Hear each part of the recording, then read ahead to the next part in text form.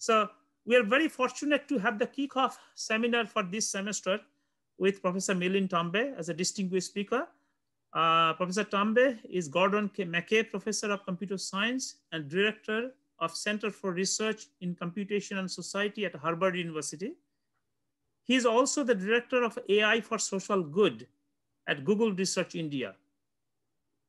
Professor Tambe is a recipient of the IJCAI John McCarthy Award, ACM SIG AI Autonomous Agents Research Award from AAMAS, Triple AI Robert S. Engelmore Memorial Lecture Award, Informs Wagner Prize, Rist Prize of the Military Operations Research Society, and Columbus Fellowship Foundation Homeland Security Award.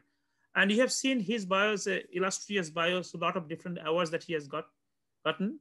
And he has also uh, received the meritorious commendations from agencies such as the US Coast Guard and the Los Angeles Airport. Professor Tambe is a fellow of Triple AI, American Association for the Artificial Intelligence, and ACM, Association for Computing Machinery. So without much ado, let us give a big hands to Professor Tambe. I know that we are not meeting him in person, but he is very engaged and you'll see from his talk. So let's give a warm welcome to Professor Tambe. Thank so you. Milind, uh, the floor is yours. Thank you so much. Thank you for inviting me. Uh, a really very kind introduction, Sajal. And uh, I was there, uh, as Sajal, you and I were talking earlier a few years ago. And so right. I remember that visit very well. And thank you for the warm hospitality then and also now. So I plan to speak for about, uh, you know, 45, 50 minutes and then open it up for questions. Uh, of course, if there are, you know, questions along the way, please uh, feel uh, free to ask them.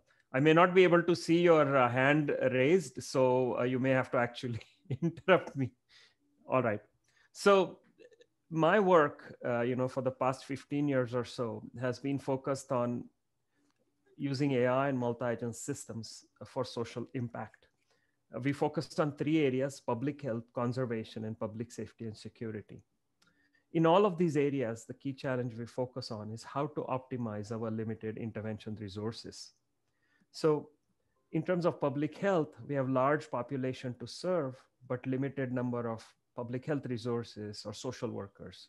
Concrete example is work we've done with youth experiencing homelessness in Los Angeles harnessing the social networks of these youth, we are able to show that our influence maximization AI algorithms are far more effective in spreading HIV information and reducing HIV risk behaviors compared to traditional approaches that are used by these uh, homeless drop-in centers. The technical areas I'll focus on here are social network algorithms and bandit algorithms. With respect to conservation, we have large conservation areas to protect, but limited number of ranger resources. Concrete example is work we've done in Uganda and Cambodia. Harnessing past poaching data, we are able to predict where poachers set traps or snares. And for the past several years have been able to remove a large number of these snares, hundreds or even thousands. The technical area I'll focus on here are green security games, which combine machine learning and game theory. With respect to public safety and security, we've contributed a new model called Stackelberg Security Games and contributed new algorithms that have been in use by security agencies such as the US Federal Air Marshal Service, uh, the US Coast Guard, and others. Today, I'll focus on just the public health and conservation uh, topics, which are also the focus of our work at Google Research Bangalore, focusing um, and here are some eh, nonprofits that we've worked on in Bangalore. Given the limited time, I'll only focus on one of the projects that we have ongoing in uh, Bangalore. As you look across all of these projects, there's three common themes. First, the use of multi-agent systems research, which is my area of work, social networks, game theory, and others. Second, embracing this uh, data to deployment pipeline. By that time, that I mean our first step is always to immerse ourselves in the domain, trying to understand the problems uh, that are faced by these nonprofits, trying to understand what kind of data are available. Following that, predictive models makes predictions on give off the data available, which cases are high risk versus which cases are low risk. Now, we cannot intervene on all of the high risk cases given limited resources. So our multi-agent reasoning intervention algorithms prescribe, recommend for us which cases to actually intervene on. Following that, field testing and deployment comes in not only because we want to understand the limitations of our models and algorithms, but because social impact is a key objective of our work. It's a first class citizen of, of this area of work. And so if we don't achieve AI for social impact, then we can't quite call ourselves engaged in AI for social impact work. Another theme you'll, another aspect of this work is lack of data is often a norm. So we are supposed to be in this era of big data, swimming in big data, but often in these domains where we're working with marginalized or endangered communities, we face a lack of data. And this you will see is a repeated theme where we are trying to struggle with handling limitations of the data available. Finally, all of the work is only possible because of the interdisciplinary partnerships with nonprofits around the world, whether they're homeless drop-in centers in Los Angeles or wildlife conservation organizations around the world or other public health or conservation organ, uh, nonprofits in India. The work we do is in service of empowering these nonprofits to use AI tools. Uh, they are engaged in such inspiring work and we want to avoid being gatekeepers to this AI technology for social impact. So in the rest of the presentation, I'll start by providing you, um, you know, some information on the work we're doing in public health, then in conservation. I'll cover papers from the last three to four years in conferences uh, such as AAMAS, AAA, and so forth. And to, I'll highlight the role of the lead PhD student or postdoc by putting up their pictures in the top right hand corners of the slides on which their work is shown. So you know who led the work. So let's start with uh, public health. Here I'll use for motivation this challenge of HIV prevention amongst youth experiencing homelessness. The rates of HIV in this population are 10 times the rates of the normal house population. In fact, there's 6,000 youth who sleep on the streets of Los Angeles every night, which is what uh, which is where we have focused this work in. Now, we cannot communicate uh, HIV risk prevention message to all 6,000 youth individually. Therefore, homeless shelters or drop-in centers adopt this peer-led intervention strategy. They'll call in the peer leaders, educate them about HIV prevention, and expect the peer leaders to talk to their friends and their friends to talk to their friends. And in this way, information to spread in the social network. This is face to face interaction. This is not happening over Facebook, etc. So, this problem is essentially this problem of influence maximization in social networks that many of you may be familiar with in computer science. Given a social network graph, G, we are trying to choose K peer leader nodes such that we maximize the expected number of influence nodes. Now, information is supposed to spread in this independent cascade model, meaning we give information about HIV prevention to youth A, A will talk to their friend B, B will talk to their friend C, and information will cascade in this network as we apply these standard influence maximization algorithms to our domains, however, there are several challenges. I'll focus on three. First, there's uncertainty in propagation probability over edges. Second, we can't have a we can't have a situation where we bring in all peer leaders all at once. We have capacity limits. And so we call in a few of these peer leaders, but given the unfortunate circumstances these peer leaders are in, some of them may not be able to attend, which means that next time we call the next batch, we have to take into account who showed up in the first batch. So we have a requirement for a multi-step dynamic policy to handle no-shows. And third, the social network itself is not known. All we can do is have a limited querying budget. So we query a few of these peer leaders, uh, few of the people in the network to sample the network. Now, I'm going to address all of these challenges starting from the top. Initially, we'll assume the social network is known and then work our way downwards towards a situation when the social network itself is not known. So let's start with this uncertainty in propagation probabilities. Normally, if we assume that when we talk to a youth C about HIV prevention, their neighbor, their friend D, will get to know about HIV prevention with a known probability, let's say 0.4. In our domain, immersion in the domain showed us that it is very difficult to get hold of these probabilities. Instead, we can model this as being sampled from some distribution. Now, we may not know the mean of this distribution, so we can say that this mean lies within some interval. So now we have this challenge of robust influence maximization, of trying to spread influence when there's uncertainty in information propagation probability. We solve this problem by casting it as a game where our algorithm is trying to choose peer leaders and nature is trying to set parameter settings to cause our algorithm to perform as worse as possible. So we are trying to maximize spread of influence and nature is trying to minimize where the payoff is determined by the ratio of the outcome of our particular policy, our particular choice of peer leaders, compared to the optimal choice had we known those parameters ahead of time. Now, some there are some details here about mixed strategies and pure strategies in the game. They are available in the paper, but I'm going to describe to you the key intuition about how to solve this game. Now, along the rows here are the policies that the influencer is trying to choose we are trying to choose something like, let's say, 20 peer leaders or 30 peer leaders in a network of 40, uh, 400 youth. So we have 400 choose 30 choices along the rows for our policies.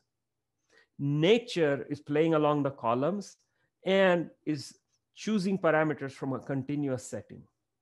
So you can imagine that there is a vast number of rows, of strategies for the influencer, and of course, nature is choosing from a continuous interval. So there's a very large uh, set of strategies available for nature as well.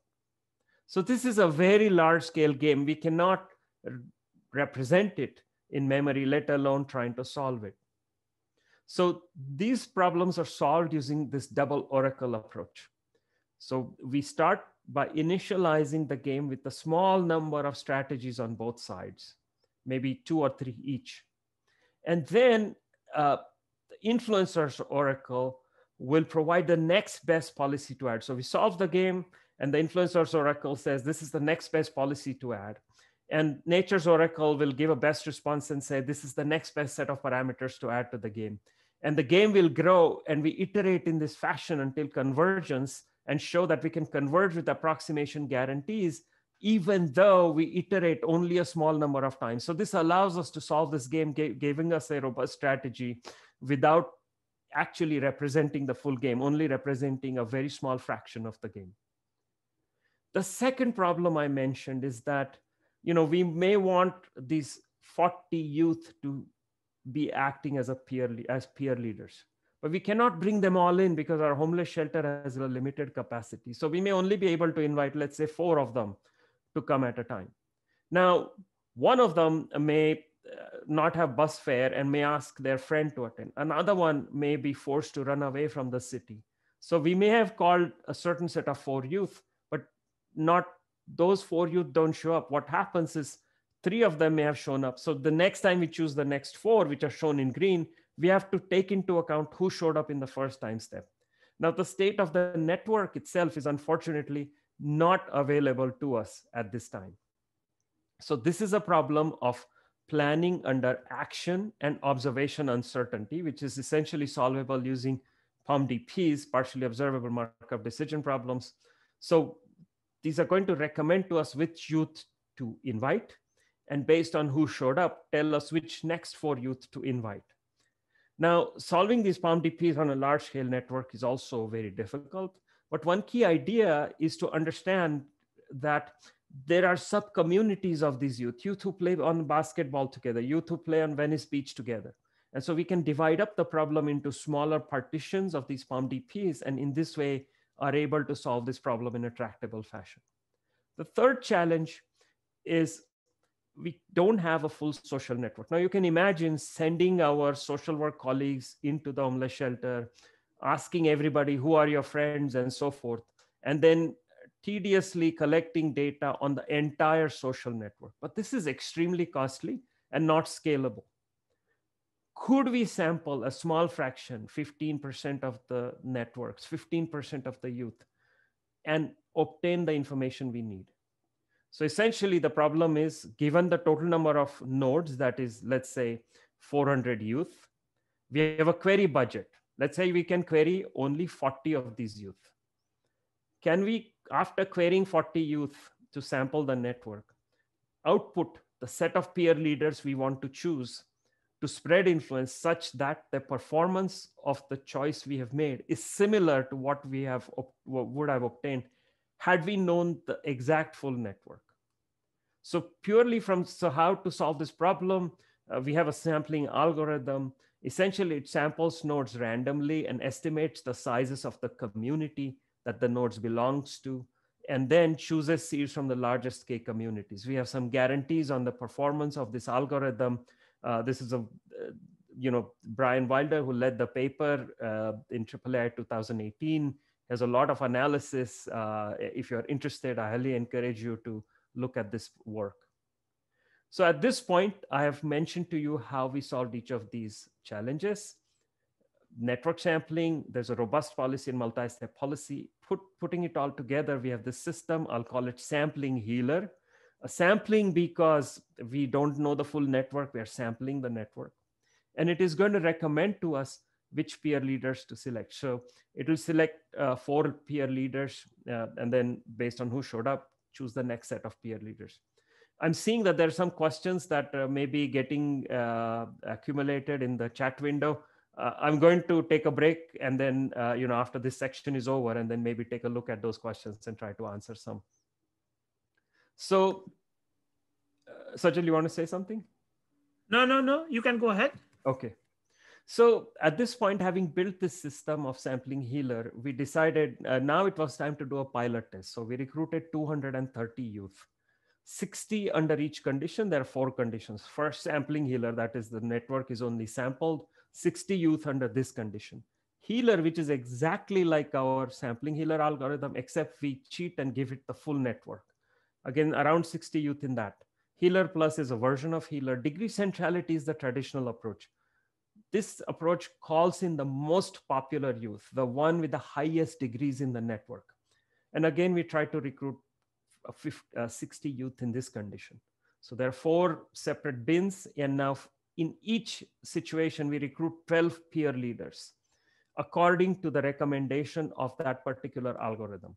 And this is a picture from an actual information session where our social work colleagues are educating uh, these homeless youth about HIV prevention. This is a day long education session at the end of which the peer leaders are supposed to talk to their friends and then their friends will talk to their friends and so forth. So question is, how many of the non-peer leaders, the people we did not bring in, got educated about HIV?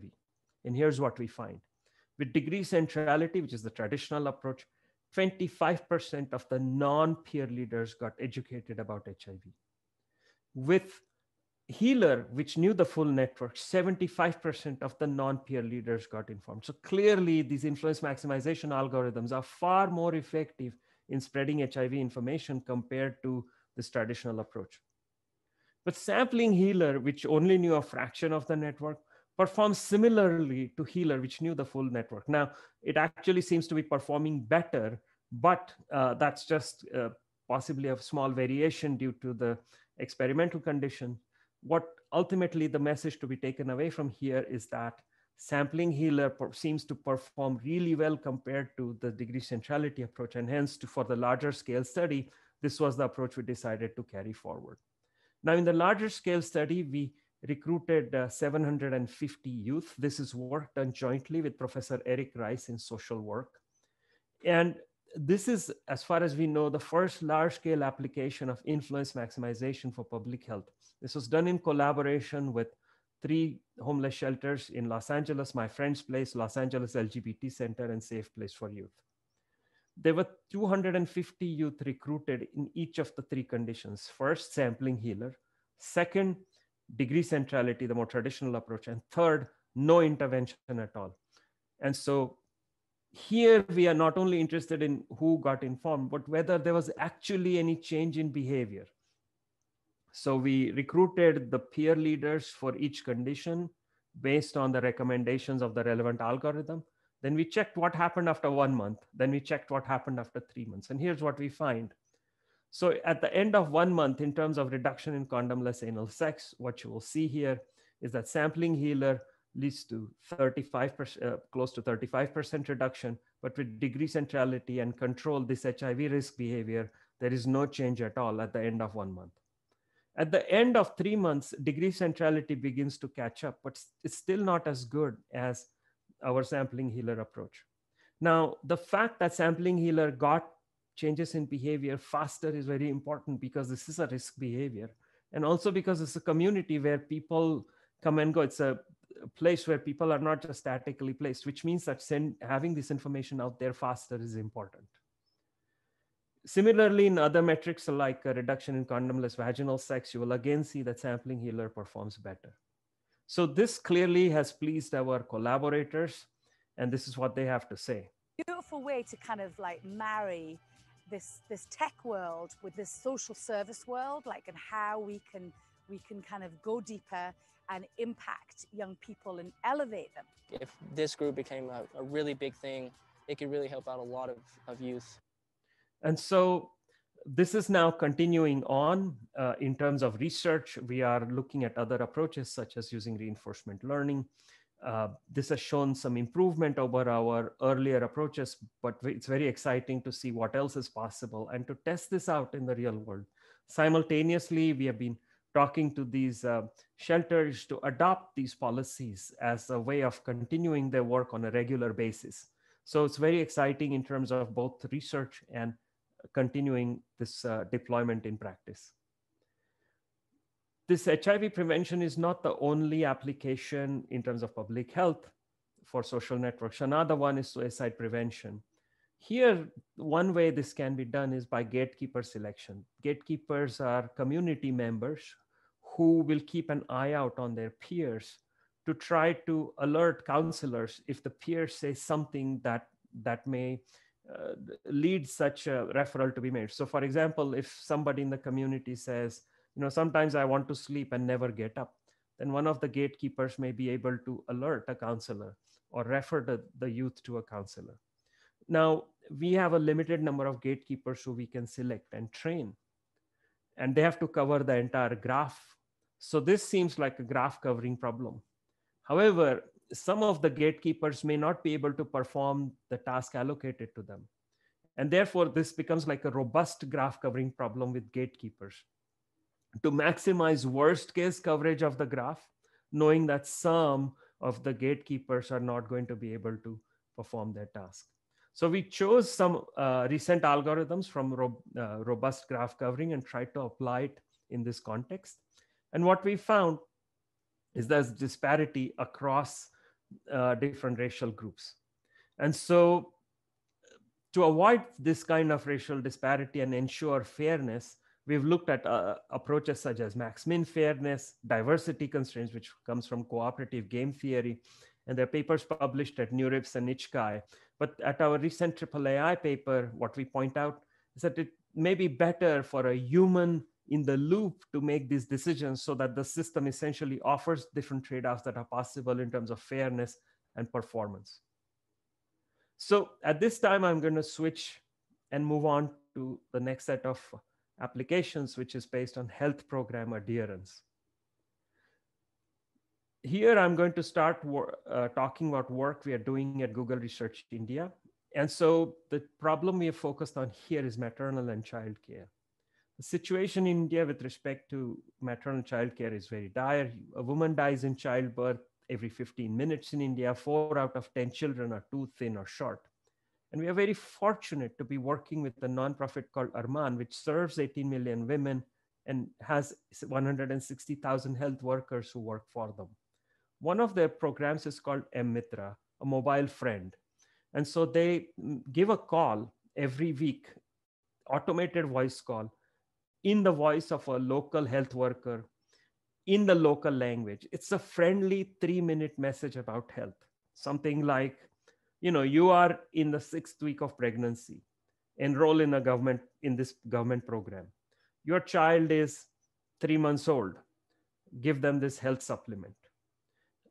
ARMMAN has shown that women who enroll in this program, Mitra, in randomized control trials, they've shown there's significant benefit that the women accrue in terms of their own health and health of the babies. 2.2 million women are enrolled in Mitra. Unfortunately, some fraction of these women, a large 30% up to uh, women, may enroll and then become low listeners or drop out. Thus, they don't get the benefits of Mitra. The question for us is can we predict who's going to drop out before they drop out so that ARMMAN can intervene on them and stop them from leaving the program? So, basic problem is how to predict which beneficiaries are likely to drop out to allow ARMMAN to focus intervention. Here's what we get in terms of input. So here's mother number one, mom number one. Uh, the first week, ARMMAN gives an automated call. She does not pick up the phone. Week two, she picks up. Week three, she picks up. Week four, she picks up. Week five, she picks up.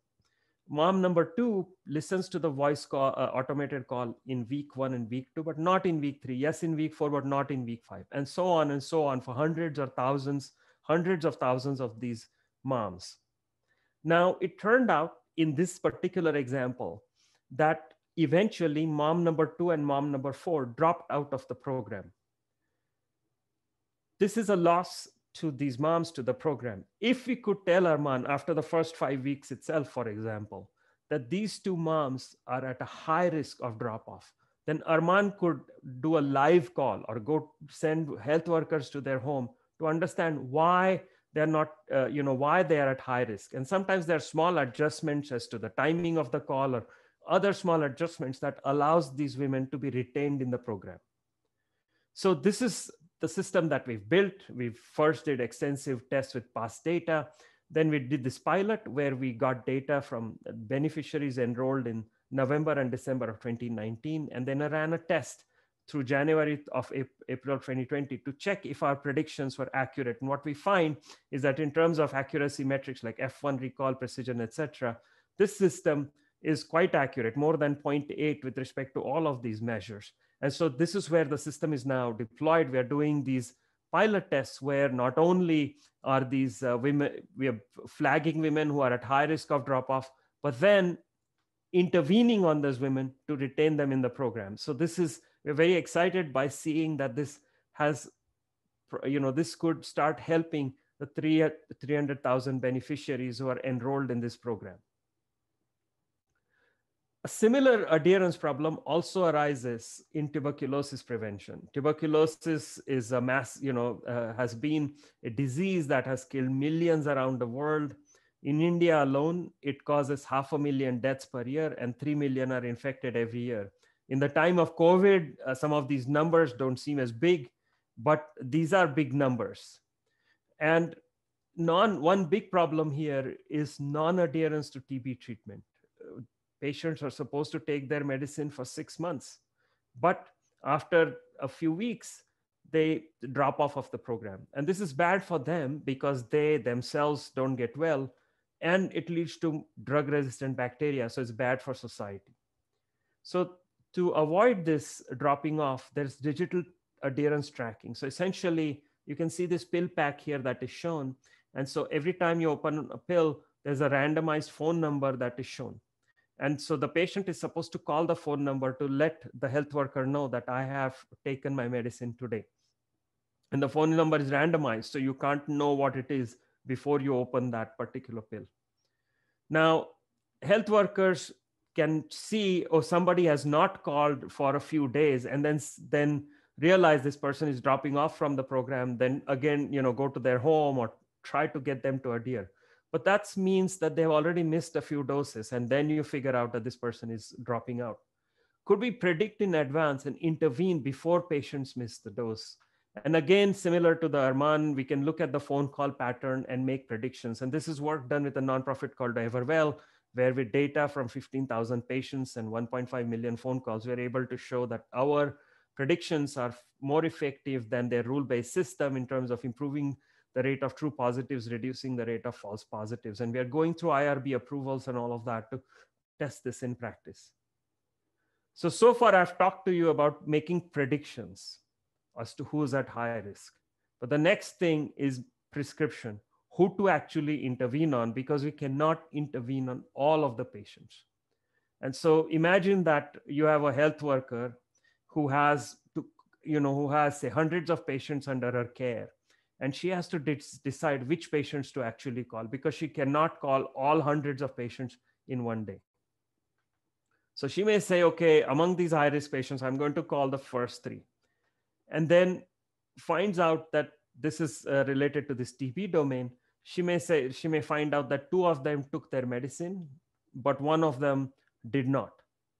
So now she encourages all of them to continue to take their medicine and she has to decide which three patients can I call tomorrow. So she may call the next three uh, and then figure out that one of them has not taken their medicine. And then based on that, decide who to call the next day. And on and on and on for 180 days, which is the length of which the medicine has to be taken. So every day there's this choice being made as to who to call. Now, as I understand it today in Mumbai, for example, this work is done in a round robin fashion call the first 10 then the next 10 then the next 10 and so forth question for us is can we do better and the approach we have taken is this idea of restless bandits adherence restless bandits. So this is a particular model uh, whereby we assume that uh, it has uh, there are two states. The patient is either adhering taking their medicine or not. And then we are trying to choose a policy to give to the health worker to try to make sure that she calls them uh, in the policy in the way specified by the policy and what this means is that sometimes you know somebody is always taking their medicine every time you call them. There is no point in keeping on calling them again and again. Whereas some patients have not taken their medicine it is important to keep calling them uh, to remind them to take their medicine. So this restless bandits allows us to come up with a policy that is more flexible rather than this round robin policy. And we have new algorithms to generate such policies. And we have shown that compared to previous work in restless bandits, uh, which are shown here in orange, our algorithms are significantly faster and don't lose as much in solution quality.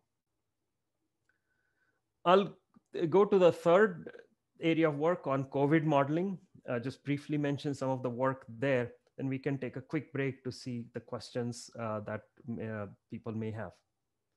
So in May, in March of uh, 2020, we started our work on agent-based modeling for COVID. And so we uh, had a detailed agent-based model in terms of families, comorbidities, age, and so forth. And use this model to make uh, predictions on what would happen if different states change their policies with respect to uh, lockdowns and so forth. And it made some news at the time. Following that, we've been looking at the COVID testing policy. Um, this is a paper that was published in Science Advances uh, last year. So essentially, the range of tests entering the market of varying sensitivity and cost. And the question is, should we go for quantity or quality? So there's the PCR test, which is a gold standard test, which detects very low viral concentration, but costs higher and takes more time to, uh, to get back results. Whereas something like antigen strip, which is less sensitive, detects requires higher viral concentration, but is cheaper, and we can get results back quickly. And the question is, you know, if you're a big campus or if you're a, a small town, which you know, and you want to test the population, should you use the gold standard test or the antigen strip? Now, uh, for some of these places, if they really test the whole population using this uh, uh, gold standard type test, then that would be a real problem in terms of their budget. So here's what we find in our agent-based model. On the y-axis is number of infections, lower is better. Blue is the more sensitive test, orange is the less sensitive test. And so if we could administer the test on the whole population at the same frequency, and get back results instantaneously, then of course the more sensitive test works out better in terms of reducing infections. However, if there is a one day delay in getting back results of the more sensitive test, which is what is expected, then all of the benefit of this more sensitive test is lost. The number of infections rises because the way this is supposed to work is that the whole population is tested. Anybody found positive, we isolate. But if there's a day's delay in isolating these people, then all of the benefit of the more sensitive test is lost. Furthermore, due to cost, if we can only run the more sensitive test every five days instead of every three days, again, all of the benefit of the more sensitive test is lost. So in short, test sensitivity is secondary to turnaround time and frequency. We should choose a test that has quicker turnaround time and cannot be applied at high frequency, basically something like the antigen strip. This result was seen uh, to be used by the World Health uh, Organization. Uh, it was covered extensively in various news outlets, uh, New York Times, Washington Post, etc., and has allowed our epidemiologic collaborators to advocate to FDA and CDC. And in fact, Michael Mina, who's our epidemiologic collaborator at the Harvard uh, School for Public Health, is now advising the Biden COVID task force uh, in terms of this COVID testing policy. So at this point, I'm going to switch uh, topics to talk about conservation. But before I go there, I wanted to see if there are questions. Uh, we'll take a five minute break for questions and then we can uh, go back to conservation. So I'm looking at the chat window. Um, and uh, yeah, does... I think I can. Yeah, I have, I have uh, kept track of the sequencing. So Ardhendu, you can ask the question. Hi, Professor Tambe. So Milind, I'm asking in the order that they pose the question. So fantastic, and we'll we'll take like a five minute uh, of questions and then move on, uh, just sure. so, so, that we can. Please go on, Ardhendu. Yeah, so I I was curious about a uh, couple of things actually, but uh, let me. Um, so when you say you sample the network, um, like do you give the uh, lesson to somebody and then check if their friends have information about it? How is that done? That's an excellent question. So sampling the network, basically we're just trying to get information about the network. So we, you know, originally, if you want to know information of the entire network, the way it was done is that a social worker would sit in the homeless shelter, check who's talking to whom. They would give every person a, a questionnaire saying, who are your top five friends? And then based on all of that, you know, draw a full network of who's connected to whom but they had to survey every single person in the homeless shelter if there were 100 people you know ask questions for 100 people then sit and make sure that they are you know who's talking to whom all of that. Instead in the sampling idea is that you just sample meaning you ask give a survey to let's say 20 people instead of 100 people. And you say who are the top five people you talk to every day? And uh, based on that sample which obviously is only a small sample of the network then you decide who uh, to call for intervention. Does that clarify? So it is, yes. So it is self-reported sampling as opposed to you checking whether they have actually uh, disseminated the information. So this is only before uh, information dissemination. This is only trying sure. to gather information on the network. Correct. Right. Uh, okay. So, I think there are other questions. So I'll, yeah. Yeah. Ardhendu, do you have another question? Oh, um, the other thing was about the Oracle. Uh, the Oracle, I think it was more like a sort of uh, technical question. Like you mentioned, convergence in fewer rounds. So uh, I was just trying to think why that is possible. And so I kind of feel that it's when you decide, when the influencer Oracle decides which policy to add, uh, I, I, do not know how it exactly happens in real life, but I assume it needs a lot of information to decide which is the next best so the the way it is done is that you solve the uh, original game yeah. and then the oracle uh, just adds the best response to that mixed strategy in the original game. And so it's just the best response given you know every time each oracle just says this is my best response to the you know best opponent policy from the main game. And uh, it is uh, you know it is well known or empirically you know you can observe that you converge in a you know relatively few number of cycles. So uh, it's not necessary uh, you may have to you know explore a lot of policies but in practice it turns out that it just works really well in being able to converge so convergence means no oracle can add new policies because there is no you know they, they just don't have a better response and so it is well known that uh, you empirically you can often converge much faster and that's what we observe Thank you. So Milind would you like to take one more question or want to continue? Um, I think it's uh, maybe I'll just continue and then we'll just end. Sure. Uh, okay. Please. And then, uh, then we can continue this conversation. Thank you for these excellent questions. So the conservation part I'll go through. Uh, it's a smaller part. I'll go through relatively quickly. So here uh, we are focused on hmm, uh, this problem of uh, protecting large uh, wildlife conservation areas. So this is Queen Elizabeth National Park in Uganda. So there's you know wonderful wildlife there, but there are threats to the wildlife, traps or snares in the thousands that get placed to maim and kill this beautiful wildlife. And rangers, as you can see in this picture, have to go around the park trying to find these snares. You can see it's not easy for them uh, to find these snares. So the question is, how can we help these rangers? Again, large conservation areas, very limited number of rangers.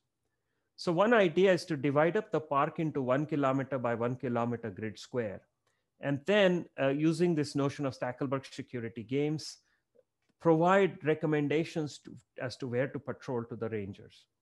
So for those who may not be familiar, this is the way the game is played. Uh, again, this is just two by two game, but of course, in reality, there's thousands and thousands of uh, square kilometers to play on. So we have the ranger, which is trying to choose which area to go to.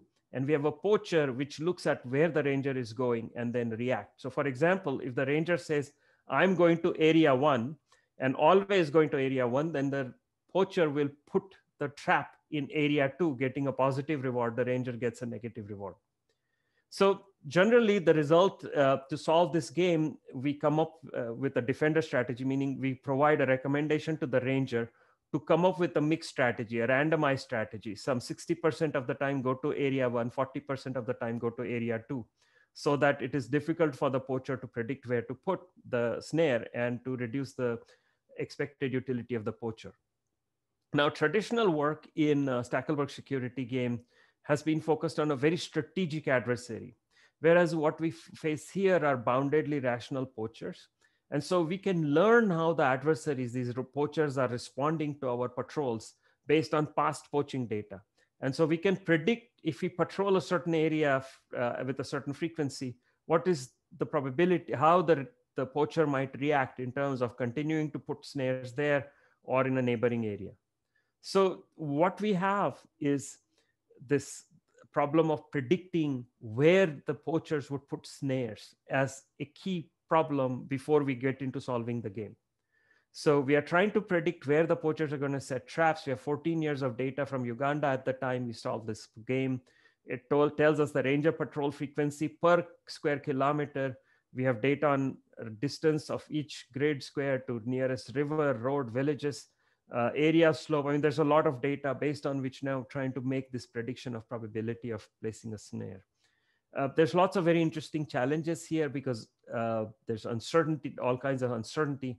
In the interest of time, I'm just going to move forward. There's a, an ensemble model that was developed to solve this problem. Having done it, the next step then was to say, how does it actually perform in the field? Because our collaborators in Uganda were not satisfied just by showing them some results in the lab. They wanted to see it perform well in practice. So we selected two nine square kilometer areas in Queen Elizabeth. They're shown in these green dots. The green dots don't overlap with the red dots. Red dots is where previously snares have been found. So now we are telling the rangers to go to new areas. You haven't patrolled these areas, but we are confident you are going to find snares there because this is where our model is predicting there are snares that you haven't caught. So this was a pilot test that was done. Uh, this just happened one month before a conference deadline. So if the rangers found snares, then we would be able to write a paper. Otherwise, you know, no paper. And so uh, we sent this, you know, uh, the rangers were out patrolling this area for one month. And every day they would send back an email saying, today we found nothing, tomorrow, you know, we found nothing, etc. And then uh, they said, we found a poached elephant with its tusks cut off. So this was too sad in the sense that we were too late to save this elephant, but at least the machine learning model was telling us where to go. Then they found a whole elephant snare roll and removed it. So poachers were active in the area. They were killing elephants, but before they could kill the next set of elephants, a whole elephant snare roll was removed. And then 10 antelope snares were removed. So this gave us hope that this model is making good predictions in terms of where to send the rangers, Having completed the pilot test, the next test was to do a full scale test. So this was done in three national parks, uh, Queen Elizabeth and Murchison Falls in Uganda, and Sri Wildlife Sanctuary in Cambodia. In each case, we selected 24 areas. In each case, we marked some of these areas as high risk and some as low risk, meaning our model predicted that all of in all of these areas which were lightly patrolled before or not patrolled before, some of these areas are high risk, we predict, some are low risk. And now we sent the rangers for six months to patrol these areas to check if our predictions are accurate if and, and it indeed turned out that where we predicted high risk, more snares were found. Where we predicted low risk, less snares were found. So this is building up a lot of confidence that this is the right approach now to be using in national parks in order to save wildlife. In Cambodia, compared to 2018, there, there was a five-fold increase in the number of snare captures per month. So this is really beneficial for our uh, you know rangers who putting their who are putting their lives on the line trying to protect wildlife around the globe so so far i've talked to you about predicting where uh, there is a danger of seeing snares but having given these predictions. Rangers have to plan patrol coverage. So now having uh, gotten these predictions the next step is to optimize patrol coverage. This can be done first do prediction then separately do planning to patrol, uh, for patrol coverage. However if you do this in two separate stages this turns out to be suboptimal. It is better to take into account what it is that we are trying to do which is to plan patrol coverage during the prediction phase itself so the loss function of the prediction stage is not just to achieve higher accuracy but to actually maximize defender's expected utility to by planning better patrol coverage. And so this change in the uh, loss function, which is derived automatically by doing this end-to-end -end learning, or what we've been calling decision-focused learning, allows us to actually, in simulation, lead to better results. So the blue line shows the expected utility if we adopt this kind of game focused learning by changing the loss function to adapt to the actual task we are trying to achieve. Um, this is again exciting in terms of trying to test this idea out in the field. So something that we are looking at doing next. So having looked at the success of our pilot, uh, you know, of our predictions across the globe uh, in Uganda and Cambodia, we've been collaborating with this organization called SMART, and I'll come to uh, them a little bit later again, to spread SMART over into hundreds of national parks around the globe. And whereas something like Srepok Wildlife Sanctuary has, you know, 45,000 patrol observations in the last five years, there's other parks like this Royal Belum Park in Malaysia, which has very few observations. So there are parks that are data rich where we can do all of this predictive model and game focused learning and all of that good stuff.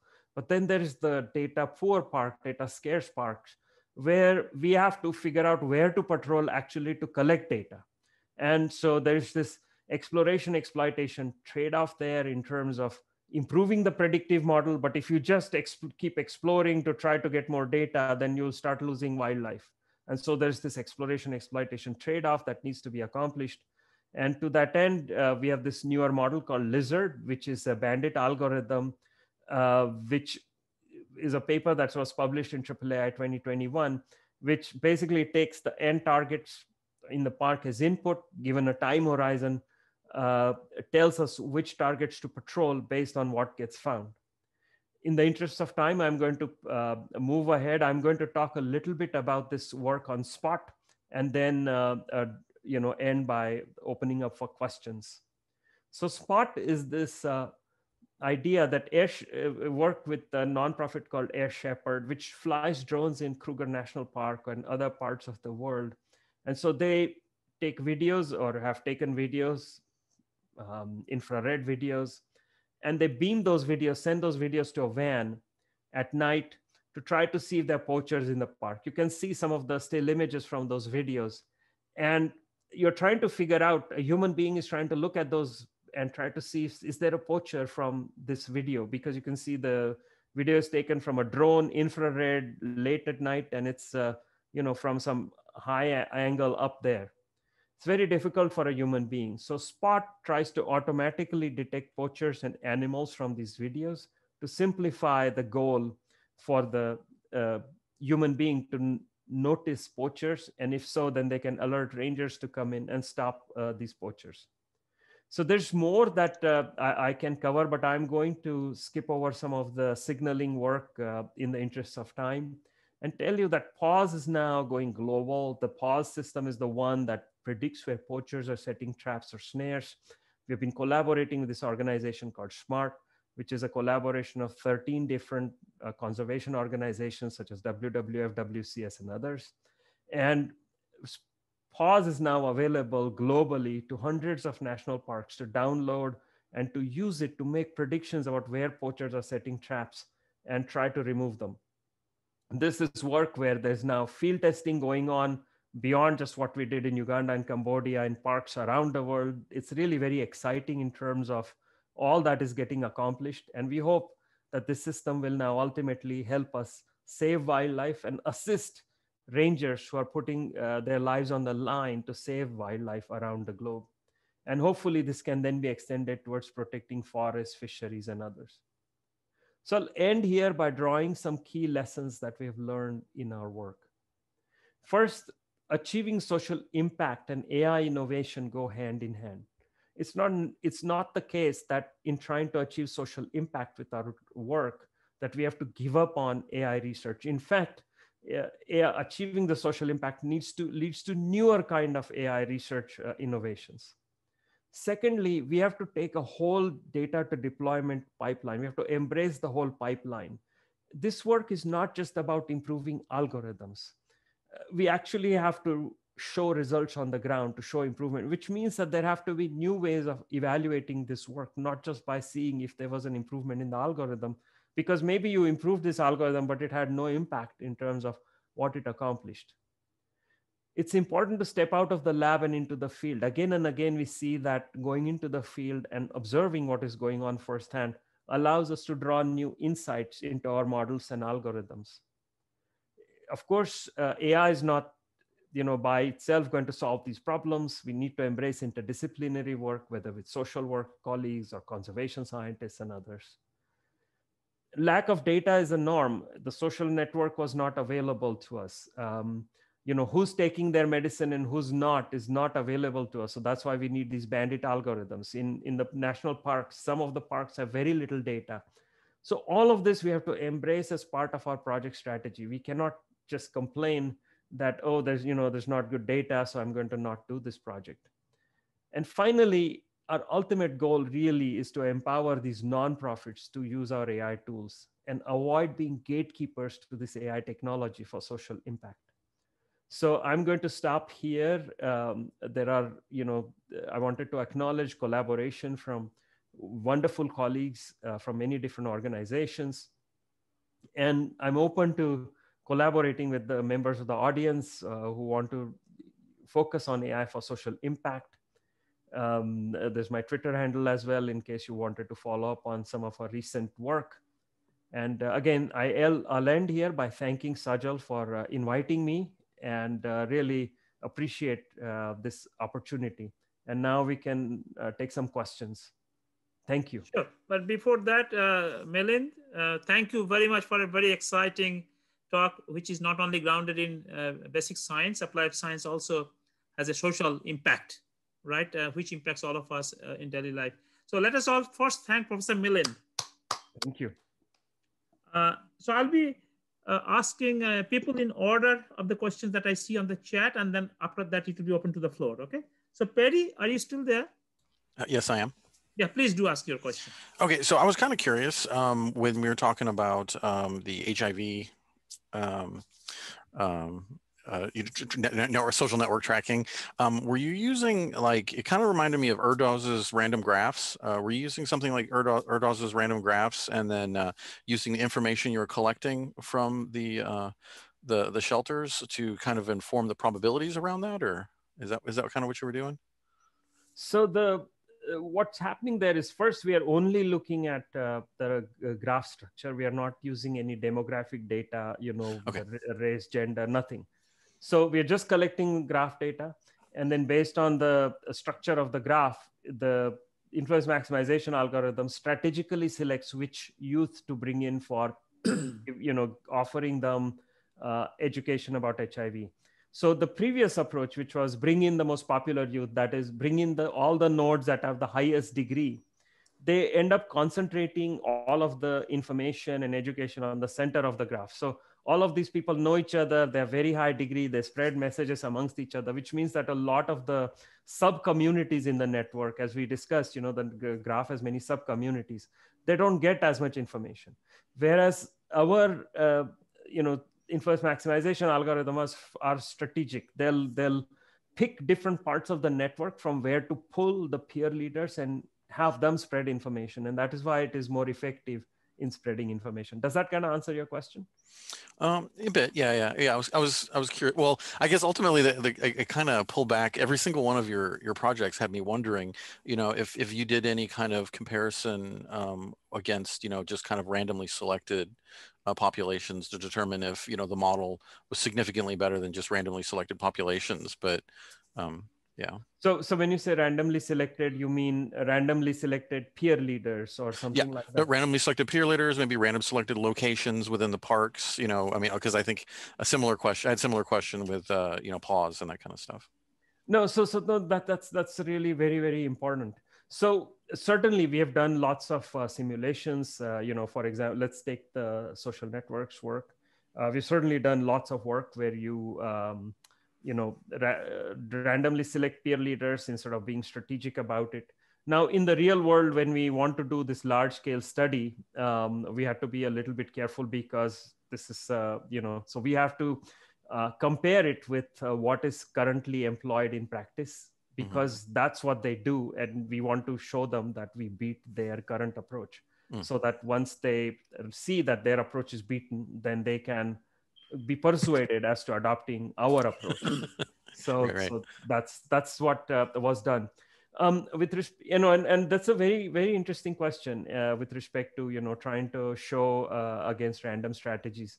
There are other domains where we have done done that but uh, I'll, I'll come back to this question a little later based on the time available. Thank you. Thank you. Okay, excellent all right, question. Th- thanks, Perry. Uh, Sid, you are next. Sid, are you there? He's muted. Sid, uh, Yes, sorry, I was muted. yeah, yeah.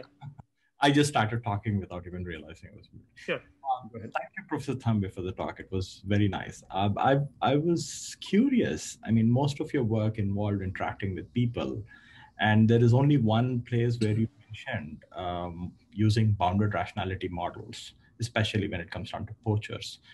Um, I was wondering what specific models better describe uh, poachers' behaviors, and have you looked at uh, using bounded rationality to uh, even model, you know, pregnant women behavior when they were hand, handling calls, so on and so forth. excellent excellent uh, so in the network models uh, for example you know we have used a very standard uh, approach in terms of uh, nodes reception and transmission of the messages. It's uh, it would be very interesting to extend it to use some other kinds of uh, you know somehow to integrate uh, reasoning about bounded rationality there.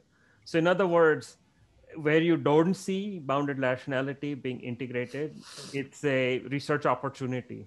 It's not a, it's not it's just that we haven't gotten there yet with respect to the national parks the history is something like this. Uh, we did initial work using uh, quantal response type models um, and so that was our first go-to.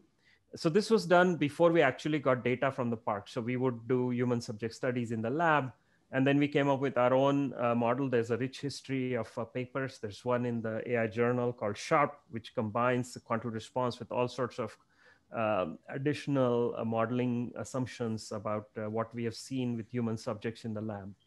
So we were very pleased with these uh, sets of models but then we started getting real data from real parks and we suddenly started realizing whereas in the lab we have you know tons of data available with human subjects in terms of what choices they made uh, where they failed where they succeeded uh, you know you can track one single individual from one trial to the next to the next in the national parks you have this very limited data. You don't know which poacher uh, you know put snares where. All you have is location of snares. And so from that to apply these more complicated models which depended on knowing how a single poacher behaved over time and so forth became very difficult. And over time, we realized that the models that uh, the other thing was that these um, organizations also have severe uh, resource limits. So you can't tell them, you know, run this very complicated, uh, uh you know, uh, Markov model, uh, hidden Markov model or something, because the computational resources really are truly limited. And so therefore, you have to come up with a model that is fast and yet can work with this very limited amount of data. So what has worked well is actually, you know, ensembles of decision trees. We've, we've shown that even, you know, Gaussian processes, GPs work better uh, ensembles, but they just, you know, computational resource limits means even those are not workable. And so we end up in the actual system that is actually being used, it's an ensemble of decision trees because that's all they can afford to pay for. Uh, uh, in fact, uh, I myself am working on uh, a similar problem. Uh, I've taken content moderation as an application. So content moderators go through uh, um, a lot of mental deterioration as they work through uh, ex extreme sensitive data. And we try to model their decisions using discounted satisficing, and we model them as bandits, and we try to learn, predict uh, when they would stop working because content moderation industry has a lot of worker sustenance issues and and we are trying to do that as as of now as we speak and uh, a paper will probably roll out very soon and, and i was excited when you were talking about similar problems in other applications as well um, no, that's, yeah. uh, one final question do you think the data is available out uh, online openly the work for all the works that you're doing? So first of all, thank you for the great work that you yourself are doing. I would love to follow up on the paper that you mentioned. Some of the data are and some are not. Uh, the poaching data, if you are a national park uh, and you want the data, or if you are a researcher, uh, you know who they trust, uh, these organizations would be willing to share data like WWF, WCS, etc. The worry is not to make it completely open source because poachers may download the data and so they don't want that but uh, yeah i mean if you are a researcher uh, you can negotiate with them and you know get agreements uh, there are other researchers who are you know who have access to this data and so forth and study and their papers published and so on in you know uh, different conservation journals uh, same with the social network um, data uh, some of you know the social work organizations or our colleagues would be willing to share. There is no secrecy there. There is just uh, maybe some privacy issues or something that they may be guarding against, and that should be released in the public domain. So, you know, where possible, the data, certainly all the code, all the algorithms, all of that is public domain. Uh, so that is all, you know, you're free to download. Like the agent model for uh, COVID that I mentioned, it's, you know, freely available, easily downloadable, workable, etc. Great, great. Thank you. Thank you. Good, good. Uh, Milind, there are a couple of other questions that I see on the chat. So Sainath, you are next. Uh, hello, Professor Tambe. Uh, so I've actually had very similar questions to, uh, uh so like uh, Doctor said. So I guess you have already answered my questions. So I'll be good. Okay. Thank you. Thank okay. you. So Manoj, you're next then yeah, sometimes you may get the questions answered already, so there's no need to re uh, ask again. Uh, thank you, Dr. Das. Um, Professor Milind, uh, this was a very insightful talk. Uh, thank you for that. And uh, my question is, like you already mentioned about the limited amount of data, and like I see those these are the like non-traditional applications of AI and machine learning. So uh, with this limited and unstructured data, how are you uh, approaching this, like in terms of algorithms and methods, and like how is that like uh, how's the the difference translating in real world? Excellent question.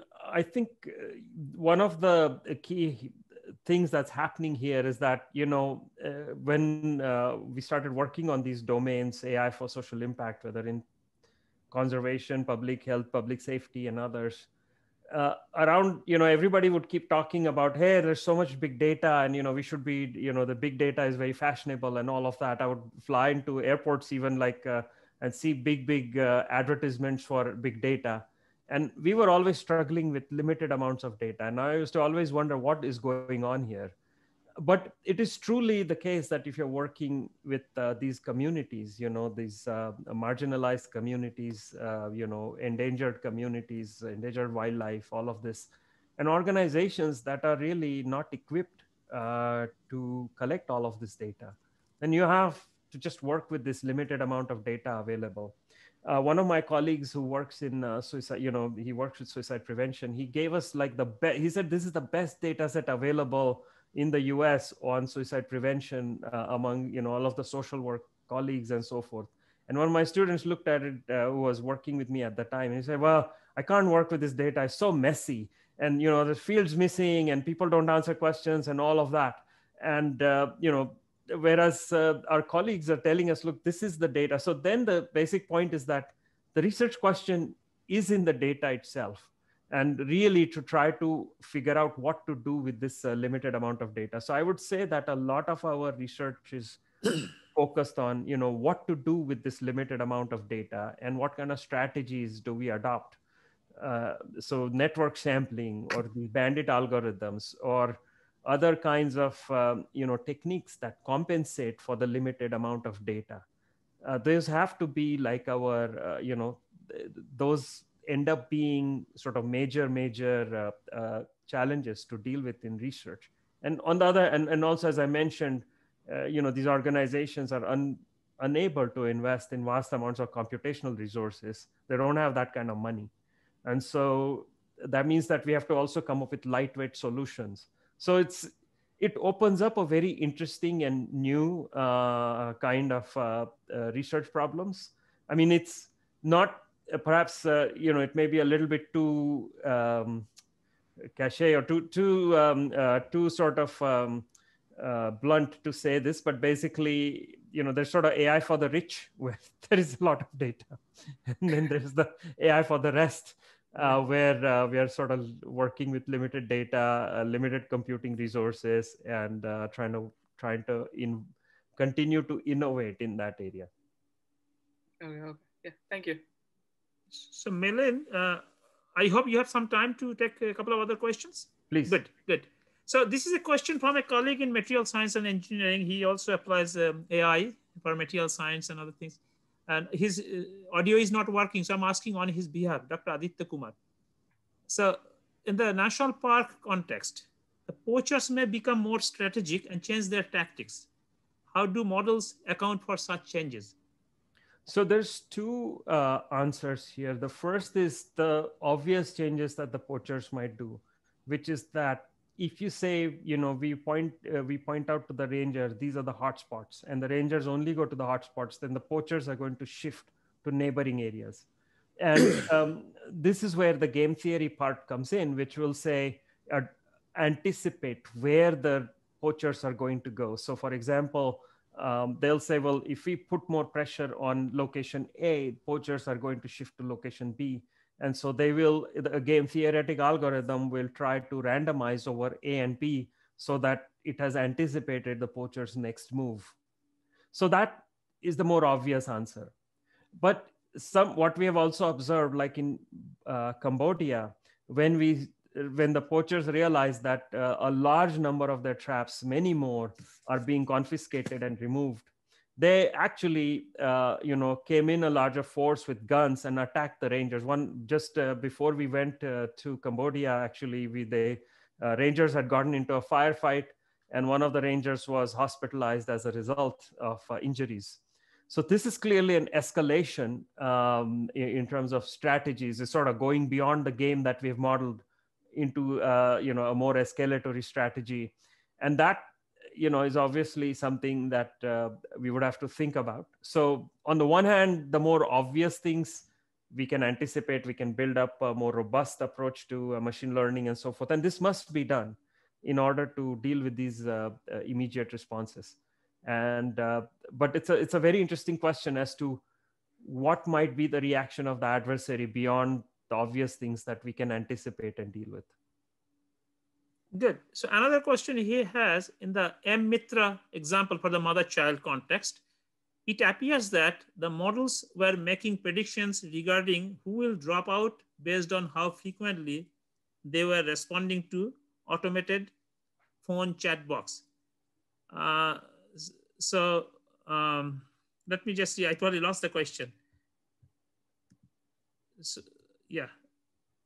Yeah, that's true. Uh, Yeah. uh, uh, in uh, the uh, observation is correct. It is looking at past uh, behavior in terms of which phone calls are being listened to. Also, I, I should mention we do use some demographic information in that case in terms of you know is it your first child, second child, uh, things of that nature, in order to uh, improve the accuracy of our predictions. So yeah, this is uh, the observation is correct. Good. So I have one question. So let's say you're having this uh, game strategy or the learning methods and all, right? Now, assuming that everything will work in a foolproof manner, but what about if the lesser rangers are compromised? Then somebody tries to, right? So in that case, the so that means that's a, more like a security or adversarial Yeah. attack type of questions, right?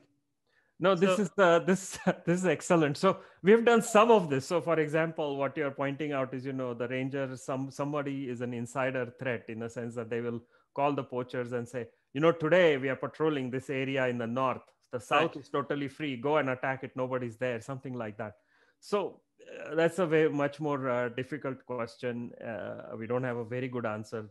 One thing we have tried to do is to add extra randomization in the game theoretic strategy to try to you know make make sure that uh, you know you you um, uh, can't easily uh, figure out what is going to happen. So these are things whereby um, essentially you can try and make sure that your you know strategy is more and you know like highly randomized or something like that.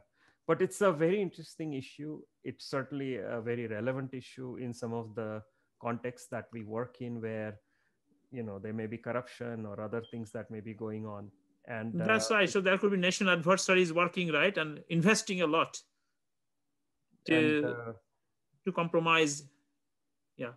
no it's a, it's an excellent excellent uh, uh, point and then how to how to handle it uh, becomes a very interesting question and some of this may have a technical answer uh, in, in terms of you know what can we do within our algorithms to extra randomize it to add more security etc etc and some of it may be beyond where uh, really the answer is you know some kind of uh, policy change at a much higher level. But it's a very important question and uh, we haven't addressed it. In in particular, you know, sometimes we do AI for security, but here it is like security for AI, right? So how to take the yes right? So- because your security or learning algorithm itself is not secure.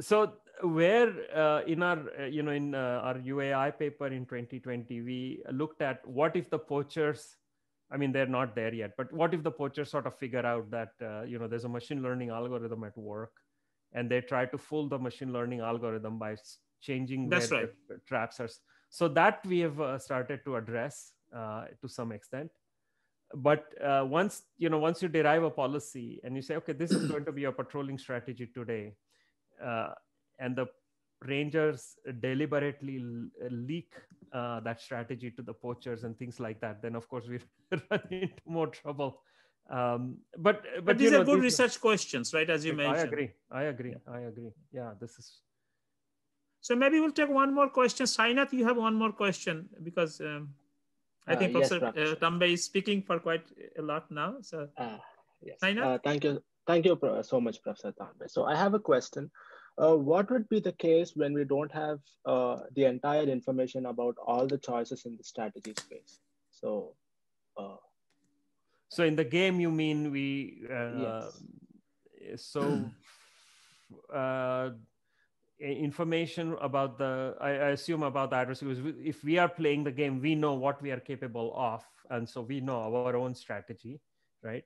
So uh, it's really like uh, what i'm imagining you're asking is uh, we don't know what nature is capable of for example right? That's is that is that kind of a good understanding of the question? Uh yes and also what if the uh, adversaries uh, choices in the strategy space are unknown to us. So he might have uh, he might have uh, many different other strategies also right?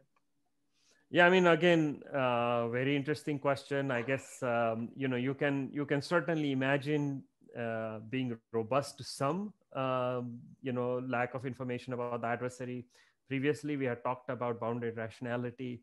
So we could imagine that we don't know the uh, parameters of the bounded rationality model very well. Uh, there may be uncertainty as to, you know, what the adversary finds attractive, um, and so we don't have full knowledge of that uh, space. And so we can be robust to that. So we can say, okay, uh, you know, that we we we don't have exact information about uh, the adversary's level of being attracted to different targets but uh, you know it, it is within a certain range and be robust to those sorts of behaviors. But if there are completely new uh, strategies that you have absolutely no idea about then that certainly you know becomes very difficult to deal from within the game right? Um, so you know you are assuming that they are going to bring uh, uh you know traps or snares to try to kill animals but they come with guns. Um, then it's now it's a you know if you don't know about it it's hard to anticipate what to do about it. So th- that's clearly a very interesting and open question. We haven't dealt with that. Um, but uh, it will be more like online online learning right? And online games because you just learn as we go and then try to figure out the best possible actions. Right. No I, I that's a very interesting thing. We haven't done it but a very interesting question to think about. Are there other questions Uh, so, Milind, you'll be glad to know that at a steady state during your presentation, we had 60 plus audience all the time. Thank you. Uh, six, as large as 66 and more. And even during the question answer session, 20 minutes after the hour, you still have 40 plus, and steady state was 45 plus. So, awesome. so your, your your talk has created a lot of interest in the topic as well as all the exciting projects that you are uh, having. I'm I'm very grateful uh, to the whole audience for having listened to me, and uh, you know, just very exciting to hear all the questions. Uh, very very interesting conversation. Thank you so much for inviting me.